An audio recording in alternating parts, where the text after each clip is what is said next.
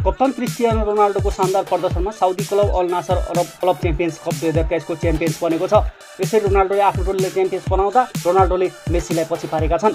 कप्तान क्रिस्टियानो रोनाल्डोको शानदार प्रदर्शनमा Saudi club Al Nassr Arab club champions cup दुई हजार तेइसको च्याम्पियन बनेको छ। साउदीकै अल हिलालमाथि अतिरिक्त समयमा दुई एकको पुनरागमन जित निकाल्दै दस खेलाडीमा समेटिएको अल नासर च्याम्पियन्स बनेको हो।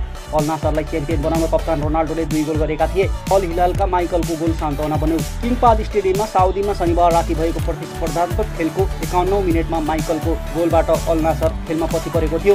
उनले मालकोमको पासमा गोल गर्न सफल भएका थिए। एकहत्तरौँ मिनटमा अल नासर दस खेलाडीमा समेटिँदै टोली थप समस्यामा पर्यो।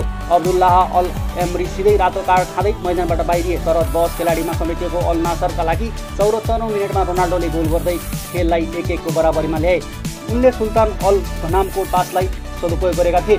अठहत्तरौँ मिनटमा अल नासरका अल बौसेल पिच बाहिर नवाफ रातो कार्ड खाँदै बाहिरियो त्यसपछि निर्धारित समयमा थप गोल निस्कन नसक्दा खेल अतिरिक्त समयमा लम्बियो। अन्ठानब्बे मिनटमा रोनाल्डोले गोल गर्दै अल नासरलाई दुई एकको पुनरागमन जितसहित च्याम्पियन्स बनायो।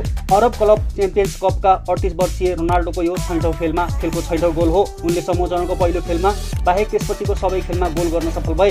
दुई गोल गरिसकेको रोनाल्डोले एक सय पन्ध्रौँ मिनटमा चोट बोक्दै मैदानबाट बाहिरिनु परेको थियो।